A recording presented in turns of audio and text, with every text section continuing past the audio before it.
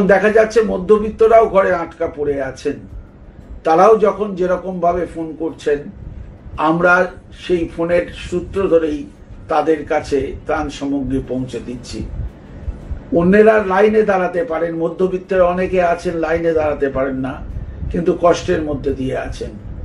আমরা সেই কষ্ট লাঘবের জন্য নিজেরাই একটা হেল্পলাইন করেছি, যাতে চারটি নাম্বার আছে।